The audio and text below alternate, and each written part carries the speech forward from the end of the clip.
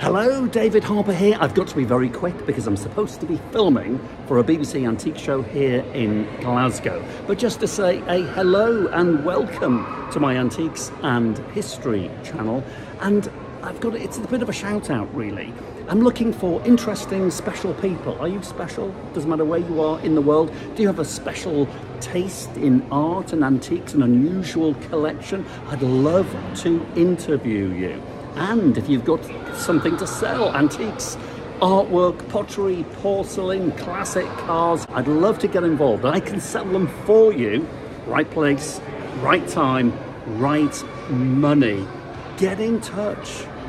My advice is completely free. Of course, what I want to do is document the whole process for this channel to make interesting, informative, fun and entertaining videos for my subscribers and I'd love you to be in it.